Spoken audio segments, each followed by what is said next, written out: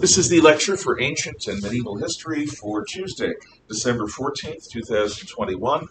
And Alexander the Great has conquered the dominant power in the East while ruling the dominant power in the West. This is a unique accomplishment to be Lord of East and West. And he did it all at a remarkably young age. His talents for reading the land and for reading the people around him, both his followers and his enemies, led him to a series of victories which caused the last Darius king of Persia to abdicate in favor of Alexander when Alexander married his daughter. Alexander then tried conquering India, but his men were so terrified of what they believed they knew about the equatorial regions, and frankly, they were simply homesick. They had signed on to conquer Persia. Most of them didn't really think they would, and then they did. They wanted to stop this never ending conquest because sooner or later your number's up in battle. You can only have so many lucky breaks. So, for the only time, Alexander has to accept a limit on his ambition. He turns around and goes back to Persia and dies. The Greek generals who serve him are horrified when Alexander dies at age 33. This doesn't seem to be an assassination.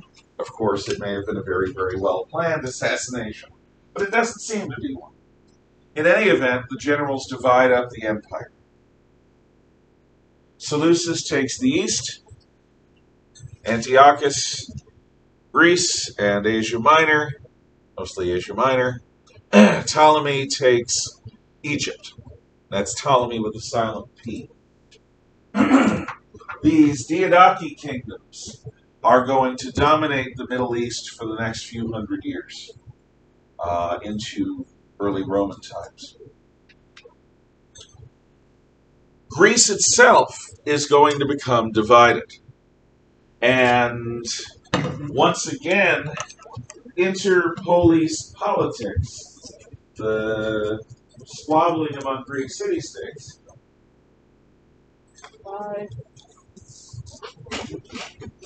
um, make Greece an ongoing cauldron of bubbly crisis and irritability. So, this power vacuum that exists in Greece, well, nature abhors a vacuum.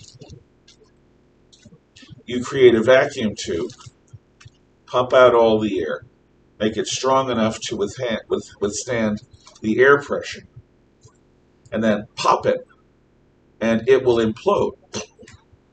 Done it, I know. It's fun. really expensive. So. And these days, even more so because they don't make vacuum tubes anymore. If you have weakness in human history, that weakness invites attack. If you project strength, most of the time predators will leave you alone. I learned this in New York City on the subways. if you walk around looking afraid, looking timorous, or looking like a tourist, ooh, ah, either way, you're not paying attention to your environment, your surroundings, and the people in your surroundings. if you're ever trapped in an alley with your date by a mugger and you don't want to pay, you can say, oh my God, oh my God, oh my God, here, have all my money and my credit cards. Or you can say, don't hurt me, take the girl. or you can say, oh God, don't let me kill again. That's the one you say if you can pull it off because you don't want to project weakness. So you walk in the city like a predator. If you walk like a predator, with the body language of a predator,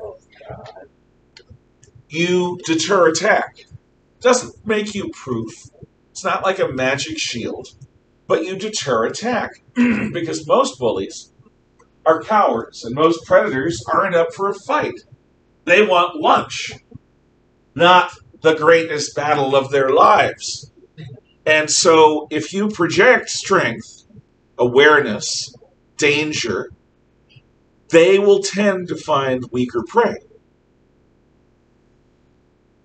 But Greece is not projecting strength. Greece is projecting division and bitterness and all of the stuff that made Philip conquer it in the first place. So, the Greeks begin to get these visitors, merchants, tourists from the west, from an Italian place called Rome, just north of Magna Graecia. And the thing about the Romans is they have this notion that they're all free. Excuse my throat, I didn't get much sleep last night. And they don't like it when their citizens are molested. Especially by effeminate pipsqueak Greek kings. So, again and again, the Greeks make the mistake of treating the Romans like barbarians. and from 280 BC through 30 BC, Rome pays Greece back by conquering it bit by bit. And the Spartans try their phalanx against Rome's legions. It doesn't work. At this point, the Greeks have been eclipsed by the Romans. oh, that'll help. And you know this because the Romans don't become part of the Spartan Empire. Spartans and all the rest of Greece become part of the Roman Empire. So Rome marches east because of the power vacuum created by, once again, divided Greece squabbling. In fact, the Diadochi kingdoms are squabblers too, and the Romans are going to take everything but the Eastern Seleucid Empire. So, that's the political situation that we've covered from in detail from the Greco-Persian War in 490 BC to the Roman conquest of Greece in the couple of centuries preceding Jesus' birth. Now we're going to look at Greek culture. And we're going to start with Hellenism. You should know that Hellenism is the blending of the best of Greek and Persian culture, whatever that means. The blending of the best of Greek and Persian culture, that's Hellenism. It comes from Hellas, which is what the Greeks call themselves after the Homer, Homeric epics, the Hellenes, uh, which relates to Helen of Troy, and the story of the pursuit of her to Troy and beyond.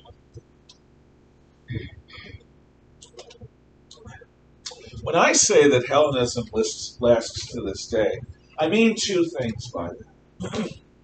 First of all, the notion of blending cultures is very much alive and well. In fact, one of the things that liberals and conservatives could agree on for most of my life was that one of the glorious things about being in America is it didn't matter where your family was from, what your genetics were. You could go to an Italian uh, restaurant for lunch, a Chinese restaurant for dinner. You could uh, dress up for anything you want on Halloween. Um, you could read Japanese literature, listen to Indian sitar music. We, thanks to the modern world and the Pax Americana, have access to all the world's cultures. and because we're America, we have people from all over the world bringing their culture here. Now, conservatives didn't take this as far as liberals. Conservatives said it's great. We can sample from the world's cultures and we can glean the most interesting things, like going to a smorgasbord and just taking what you want. Liberals and progressives embrace the idea of multiculturalism, which is a reduction in our identity as Westerners, members of Western civilization, Christian Western civilization, Judeo Christian Western civilization, and more citizens of the world. In fact, I remember having hammer and tongs arguments with other history teacher teachers from other schools when I taught back in Maine, because their school actually had as part of their slogans, "We are building global citizens," and they tried that in the school I taught, and it didn't happen while I was there because we're not frickin' global citizens. We're citizens of the United States of America. And that's a proud heritage. And it's a heritage that anyone in the world can take part in. It's not about blood or soil. It's about loyalty to the values for which that flag stands. It's about freedom and loyalty to the Constitution, about individual rights, and about working our way towards a more perfect union. All of these things are part of the Western experience. They come out of Greece, Rome, the Christian faith and Jewish faith, and the Germans that conquer Rome and they all percolate for a thousand years in Europe. It is a wonderful thing to embrace Confucianism from China and Buddhism from India and some Shinto ideas from Japan. It's a wonderful thing to leaven and cultivate yourself with the ideas that other civilizations have taken to heart but the idea of giving up our identity as Westerners to become some kind of new amalgam hybrid global citizen has never made sense to me because the institutions that keep us free are rooted in a Western understanding of things. And if you abandon that understanding of things, freedom will soon go bye bye, in my humble judgment. So, the idea of blending cultures is usually a good thing to whatever extent. Within the last five years, of course, the left has surprised me by embracing notions of cultural appropriation. That if you're not a Pacific Islander, you, you can't dress up your daughter up as Moana on Halloween, or um, you know you, you can't eat you can't start a Chinese restaurant unless you're ethnically Chinese, which to me is racist. You've got to be a certain ethnic group in order to eat a certain type of food. What? Do I have to be a sausage slurping, sauerkraut eating German in order to enjoy beer or Oktoberfest? Do I have to? I, you get the idea. I've never understood it. I've had people in my class, students and families, who deeply believed in it. Uh, we didn't agree. We had to agree not to agree because their logic did not impress me. My logic did not impress them. In any event, before cultural appropriation, which I don't think is going to last, the idea of sampling the best of the world's cultures was a very, not only American, the British did it, the Germans did it, the Australians did it, the Japanese did it. What do the Japanese call that box that you watch televis. Japanese manga and anime. Therefore, as a result of Western influence, particularly of American influence. And I could go on. I mean, anyway, the idea of blending cultures is very much alive and well. But an example from the ancient world of Hellenism is Christianity. Christianity is Hellenistic? Yeah, in this sense. Before Christ, the Jewish tradition is an Eastern tradition. It's an Asian tradition. Israel is in Western Asia. They went to Africa briefly during the time of the Egyptian slavery, but in general terms, The history of the uh, Israelites is a history of a Western Asian people. It has more to do with the history of the Arabs than anyone else, which is one of the reasons why they fight so intensely. They're very similar to one another culturally.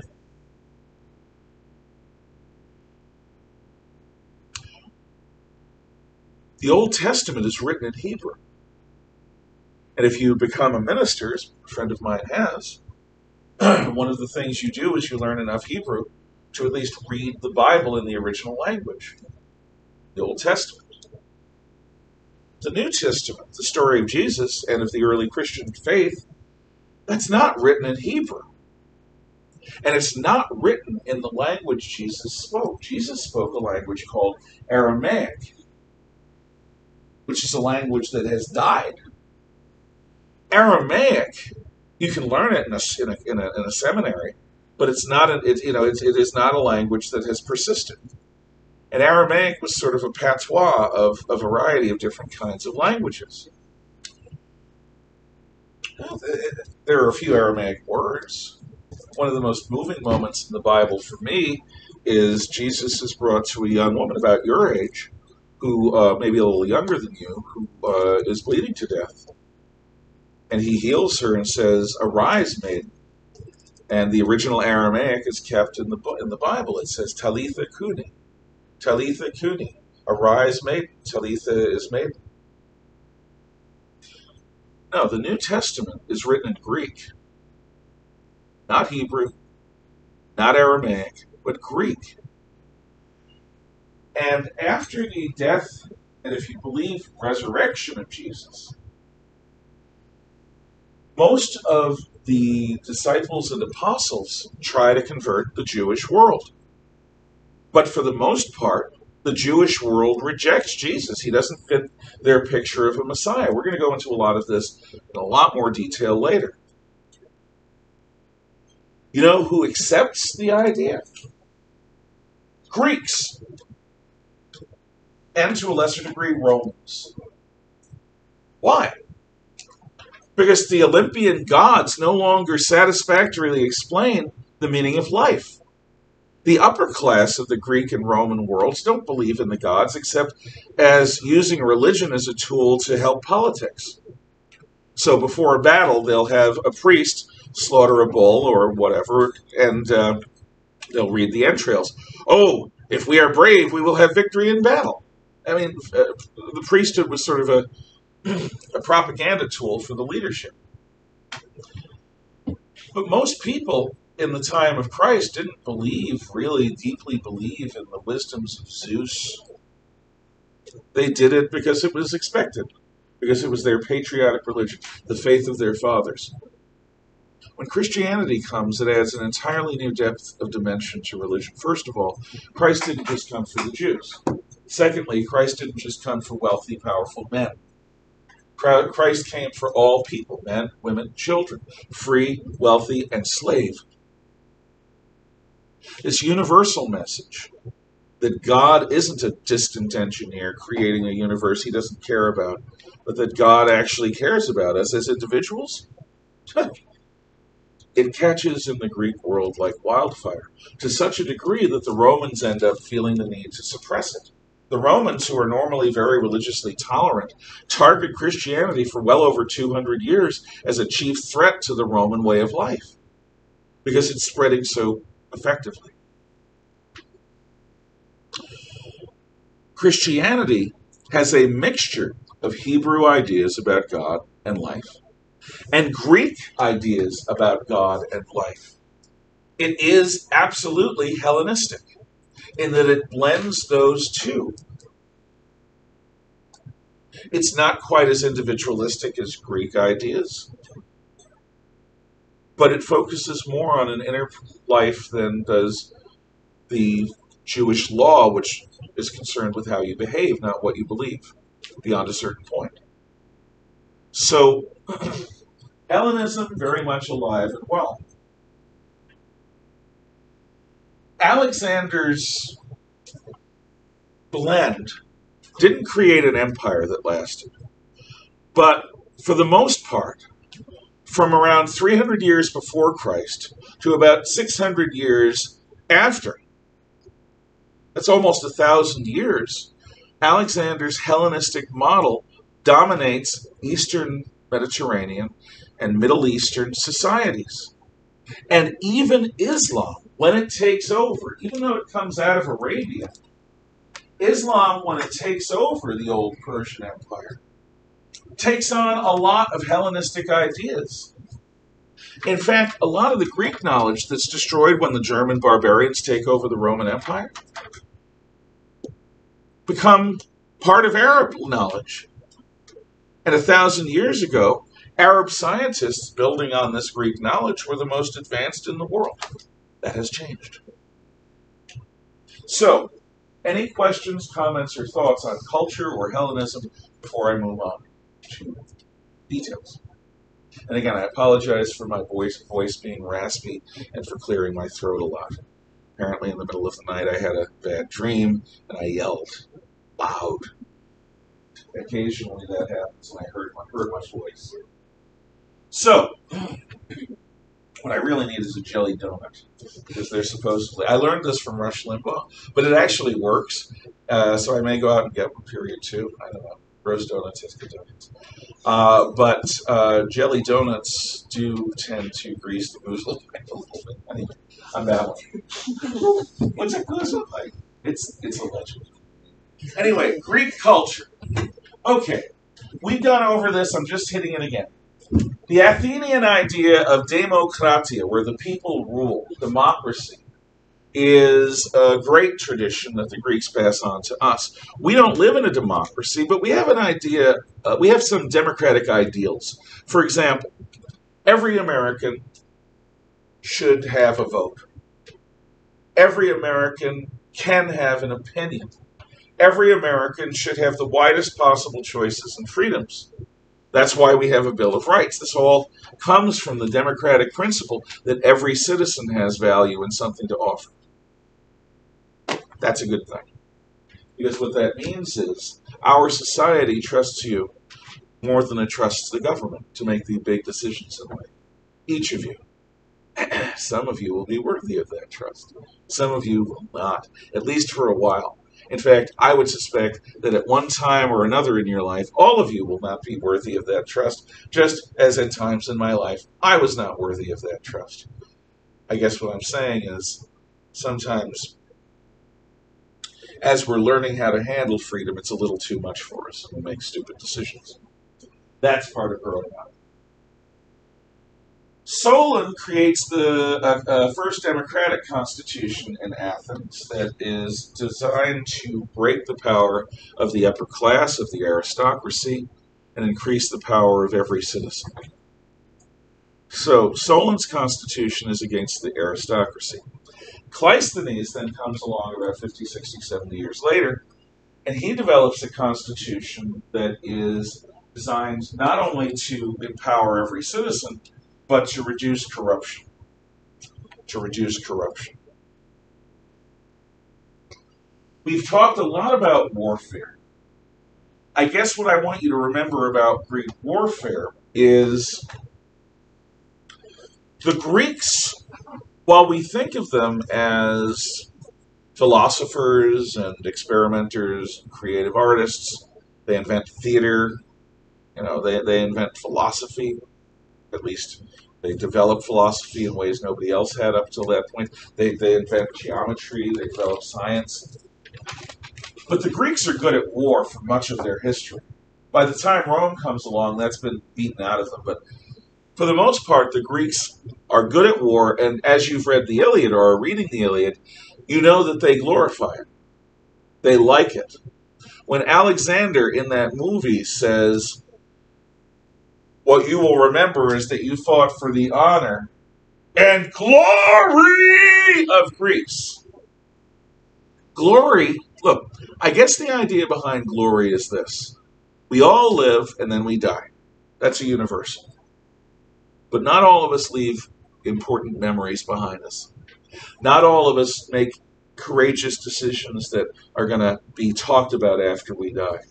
Many Greeks believed that a person was immortal so long as people still talked about them after they died. So the idea of Odysseus still being alive because people talk about him is pretty powerful. Bye. I don't know. He's o- he's okay. I think. Um,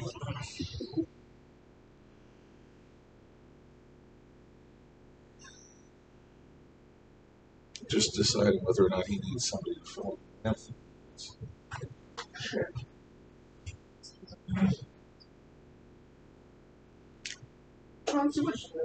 Why don't blame me? I didn't.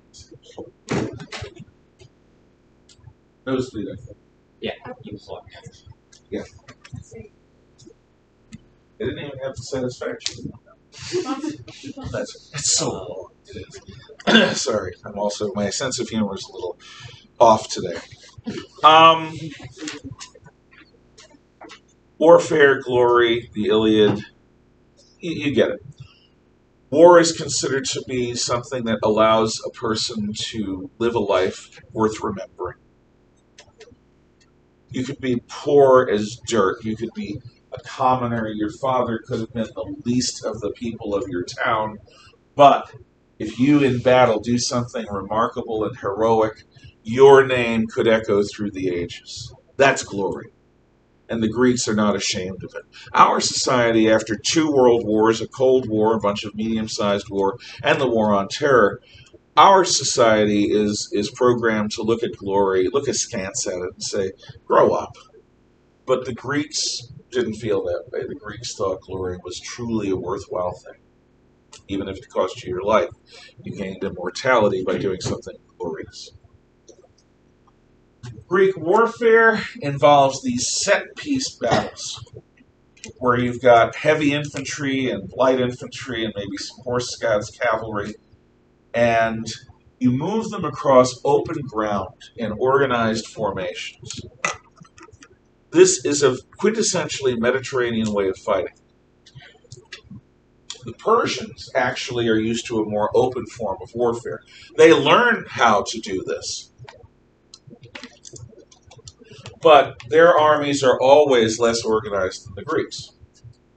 One of the interesting scenes in that battle is you've got a perfect phalanx of pikemen marching. And then the flag guy with the flag who they follow slowly moves this way. And the entire square turns and keeps moving. So the phalanx is moving forward, and then slowly everyone turns at the same rate and moves up at a diagonal. Now, that's not an easy thing to train because men, you may have noticed, are of different heights. So you've got to teach the soldiers how to march at the same rate with the same pace and to move in the same way to keep the formation. And they learned how to do it. Linking shields to block arrows, they learned how to do it. So Mediterranean warfare is a product of having all this open ground. In a forested region, like the Celts lived in up in northern Europe and the Germans lived in, their forms of warfare were a lot more open formation, basically a lot more individualistic, because you can't move a phalanx through a forest and keep the formation. It just won't work. Philosophy. A lot of people think that philosophy is this frou-frou activity that real people don't engage in. That it's like, if you're a cultural Philistine, it's like ballet. You know, real men don't watch ballet. That's not true, actually. Uh, and ballerinas and uh, male ballet dancers, I don't know what they're called, I know ballerinas are female ballet dancers, are some of the best athletes in the world. I mean, they are incredible, in incredible shape to do some of the stuff they do. Very little body fat on them. Philosophy is this. First of all, it comes from two words philo, which is one of the several Greek words for love, and Sophia, which means wisdom. So if you know anyone named Sophie, uh, her name means wisdom. Philo, Sophia. The love of wisdom. And what Philosophia is, is thinking about thinking in a focused manner. Thinking about thinking in a focused manner. Philosophy is thinking about thinking in a focused manner. What the heck does that mean? Okay. Okay. My wife and I have been together since January of 1985. We've been married since July of 1990. We got married with five sets of friends that summer. I had five friends, each of whom got married. Many were mutual friends. There's only one other couple that's still married. The other three couples divorced fairly quickly. For whatever reason, people my age, the age of your parents, are not always able to keep their marriages together, and that's not a failing on anyone's part. It's just the way things are. Sometimes it's better to be out of a relationship than in a toxic one. I grew up in a divorced household, so I'm not being critical. I'm simply pointing out. One of the things that probably made it easier for Tina and I to stay together is that we didn't have children. When you have children, you're under incredible pressure to keep those kids alive and raise them right. We didn't have that. We had cats. It's much easier. But another thing is that we are very careful how we fight. Every couple fights. That's normal. We're human beings. There are things we care about, and sometimes we just rub each other the wrong way and we get angry. Now, on television and in popular culture and in movies, people score points off one another, they rip into one another, they go for victory. And I've seen this in my own life. Early on, Tina and I agreed that we would, to the best of our ability, not do that. First of all, when we got married, I vowed to love, honor, and cherish. She vowed to love, honor, and obey. Every couple's different. I don't expect that many or any of you would follow our example, but we're both traditionalists. And what it meant was that in the end, I would have the final say. And that helped me grow up because I had another life in my hands. And I could I could force my way because she promised and she meant it. I had to be worthy of that trust. I don't know if what I'm saying is making sense, but I'm telling you, it makes sense to me. When you get married like that, you have to be worthy of the other person's love to the best of your ability, and you have to try to be a trustworthy and responsible individual. Most people, when they get married, are young and they're half adolescent and half adult. Marriage helps you grow up. If you have children, God, you grow up. We decided that to the best of our ability, when we realized that we were ripping at each other angrily, we would stop. And we'd come back later when we're calm and work it out, if at all possible. Sometimes it's not. That we wouldn't fight angry. And this is something I've heard from parents that discipline their children in an old fashioned way. It's not a terrible thing to spank your child, as long as you don't do it while you're angry.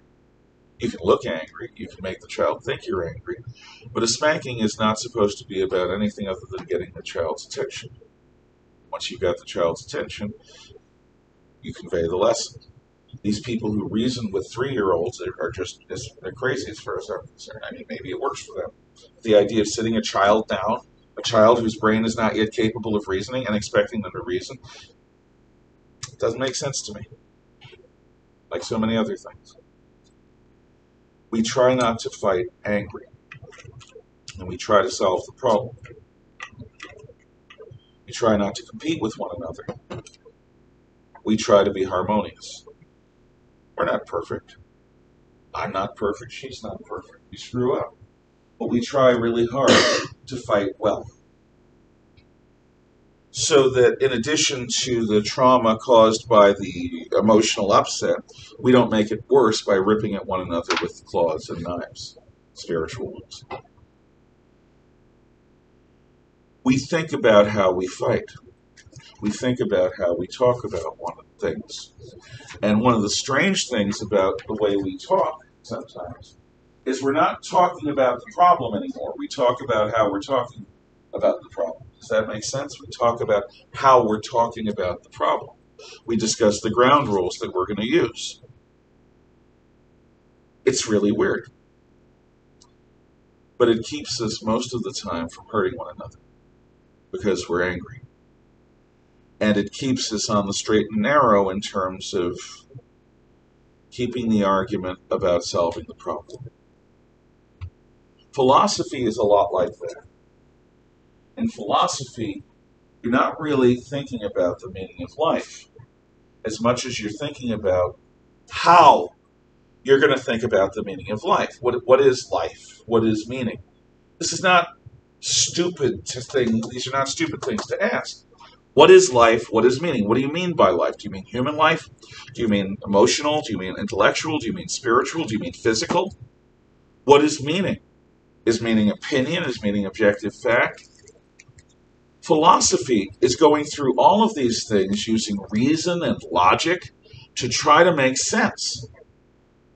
So that when you start talking about the problem, because you've come up with all of these definitions and ground rules, what you're going to do is going to produce something thoughtful and worthwhile. Instead of just being wild and crazy and grunting, the words you use are going to be precise. They're going to mean things. And what you're going to discuss is going to be precise. Ultimately, this is going to produce both geometry and the scientific method. The idea of logically working your way from start to finish through a problem comes from philosophy, from the love of wisdom. Thinking about thinking about a problem. There's another great definition for philosophy that I'm going to give you, in addition to thinking about thinking about the problem, and that definition is philosophy is the study of consequences. Philosophy is the study of consequences. Philosophy is the study of consequences. And what that means is that philosophy is the study of how certain decisions inexorably lead to certain results. If you walk into a high crime area with money bulging out of your pockets, looking at the tops of the buildings, and acting like you don't have a care in the world, there are desperate people in that high crime neighborhood. Because I used to live in a few. And because they need to, or because you're presenting an antelope like opportunity to their lions, they will take you. And they may kill you in the process because you make them angry. Because you're walking around casually flaunting something that they desperately need and don't have. And envy is one of those emotions that's pretty darn powerful in us. Hell, communism is based on the principle of envy. If you walk around flaunting your wealth among poor people, you might think that you're doing good. Maybe you are. But I've seen people at soup kitchens who are very comfortable and are very smarmy. They don't mean to be. They're at the soup kitchen on Thanksgiving helping out because they care. I honor that. I haven't done that very often in my life. I've obviously done it once or twice because I wouldn't be able to talk about it if I hadn't. But it isn't it isn't my thing. And a lot of these people go to the soup kitchen once a week as part of their sense of helping the community. But there is this sense that some people have when they're working at the soup kitchen of entitlement, that they are giving back. And that just tends to rub people the wrong way. I can't explain it. I'm trying to explain something subtly about the way human beings react. Rightly or wrongly, sometimes we bite the hand that feeds us. Literally, sometimes. Philosophy, because it is so methodical, because it thinks about how you're going to think, tries to draw clear con- connections between decisions and effects, causes and effects, decisions and consequences. And if you understand those things, you can be a better leader, a wiser person. These are the benefits of philosophy. Now, philosophy is also a bit like the Greek snake Ouroboros, the snake swallowing its own tail. There are some philosophers that just love to hear the sound of their own voice. I know, as a man who loves to hear the sound of my own voice, I can recognize it in others. And sometimes they just argue these arcane points because it's fun. And they do it with other philosophers because nobody else has the patience for it. But philosophy does have uses. I've tried to list them. Now, the wise guys. The wise guys. And I mean that like in a mafia sense. The wise guys are the sophists. And the sophists are a movement in Greek philosophy that is also a career choice. The sophists, what these guys do is they go around from polis to polis and they speak in the agora. And they speak with the intent of making a lot of money. People come to hear these guys. They're famous speakers. And what they will do is they will make pretzels out of logic for fun. They will use their cleverness to prove that falsehood equals truth, that darkness equals light. And it's entertaining the way they do it. The good ones make money. So the sophists are professional philosophers who are like stand up comedians or snake oil salesmen who go from town to town making their speeches and making their money and showing how logic is just a tool. Guns don't kill people. I do. Logic doesn't prove. Logic is a tool in my hands. I can turn logic. oh, gosh. I can make people break up their relationships. I can destroy friendships. I can make faithful people doubt their gods. If only for a little while, because I am a master of logic. Now, this I call logic abuse. Okay, it is the abuse of power. There's the French idea of noblesse oblige. In Spider Man, it's translated as with great power comes great responsibility. These guys have great power. They're really they're whip smart. I mean, they're they're smart and they're good speakers. And what do they use it for? Making people's minds go snap. And they make money doing it. And the people go to them because it's fun, it's entertaining. It's like you have a new toy. And that toy is how to use logic to prove that, that the wrong is right. oh gosh. Watch out. now, there are various ways that people react to hearing things, like from the sophists. One way I don't have written in your notes is you could be credulous. Credulous. I'll write that down. Credulous. C R E D U L O U S. Credulous. Hmm. What does that mean? Yeah. You're like, what is going on here? Kind of a big reaction. Um, Close. You, that can be the emotional effect. A credulous person believes what they're told. Incredulous is what you talked about. okay. Credulous is a person who believes what they're told. I've got some swampland in Florida that I'd love to sell you. It's beautiful. Okay, uh, let me give you my life savings. A credulous person. I just saw some fairies playing around outside. They have beautiful gossamer wings and little sparkly wands like Tinkerbell. Oh, really? How cool is that? Let's go see.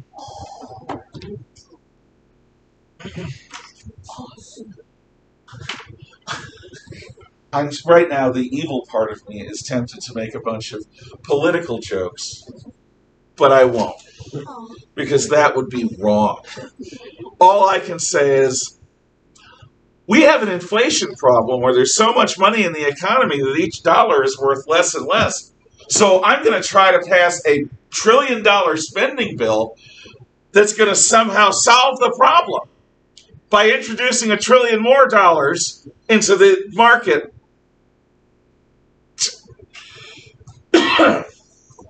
Still back better. Anyway, yeah. Theoretically, if you had to make a joke that was political based, what would I that just, joke I just, I just sort of did. Uh, I just sort of did.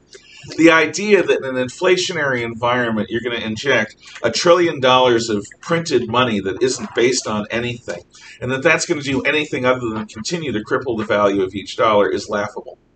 It's like saying, okay, we're playing a game and we're kids and we're playing for candy. And suddenly a guy comes in who had saved and frozen his Halloween candy and drops it on the table and that's going to be part of the game now. We're gambling for candy, like candy poker. Each piece of candy, which used to be coveted, is now just just a piece of candy because you get these bags of Halloween candy flooding the market. Does that make any sense? I hope. In any case, I see. I wasn't vicious. I chose not to be because I'm not a sophist. A credulous person believes what they're told. Then there's skepticism, which is something educated people are encouraged to be. Skepticism says, maybe, just maybe, they're not right. Maybe the swampland in Florida might not be as good as they say. Maybe instead of fairies, what I'm seeing are dragonflies. Maybe. I don't know what I'm talking about where money is concerned. Maybe. So, because it is possible that what somebody is telling me might not be correct, even if they think it is, I'm going to think for myself. That's skepticism. You've got swampland in Florida. I want to see pictures. I want to talk to eyewitnesses. I want to look at the local uh, flood charts and see if it's in a floodplain. I want to know how many alligators there are on the land, or at least if there are alligators. I want to know if it's a if, if it's like a crack house that I'm buying. Uh, you know, with with an organized crime or operation there. I want to know. I want to know facts. Okay, you saw fairies. Do you have any photographs? Do you have like a picture of Bigfoot running into the forest, which is the classic Bigfoot picture? You know, guy in a suit running into a forest. He looks like Bigfoot. Um, what about those UFOs? They're always blurry in the photographs, or they look like pie plates that you've thrown into the air with little antenna put on them. Maybe there's a reason for that. Yes, the aliens have a way of blurring film. The fairies' magic make it impossible for them to be photographed. Their photographs always show them as dragonflies, but they're really fairies. You just have to see them with the wonder of a child. A skeptic will find a way to think for themselves. So I assume that you have the capacity for health for a, a what's called a healthy skepticism. So I say something about President Biden. And you know I'm a conservative who doesn't particularly like the policies of President Biden, and I, have never liked him personally. I, I've known about Joe Biden since the 70s, and I've never liked what I saw. So, let's see. If you hear something from me about Biden, or about the women's, or about any of the things I go on about, maybe instead of just accepting what I'm saying is true, you will think for yourself oh, that Mr. Ginorio, he's a dinosaur. He's a conservative. He, he, he doesn't understand what it's like. He doesn't understand the modern world. And all of these things are true to an extent. The question is to what extent. I don't want you to believe everything I say about ideas. I want you to get upset with me and argue so that your ideas can develop as you in you know as they will naturally within you. I've always said that's my goal. That really is my goal. I do not want a bunch of mind numb conservative robots walking out of my classroom. And I hope that I don't do that. And if I do, I, I've just got to be more stupid and goofy because then I won't, you know, I won't sell my ideas. I'll just, I'll show you what my ideas lead to. If they lead to me, you don't want any part of them. Then there's the cynic. While the skeptic suspects the possibility that somebody may be wrong or, or somebody may be lying to them, a cynic knows that anyone who talks about truth is a lying scumbucket who's trying to cheat, cheat you, who's trying to trick you. It's a trap. Don't ever listen to anyone who tells you about morality or truth or justice or logic because they're stinking liars. They're manipulative jerks. A cynic knows that there is no truth, that there is no reason, that there is no right except what they personally believe, and that all politicians are liars, and all doctors are liars, and all lawyers are liars, and all teachers are liars, trying to trap your free mind in their lies.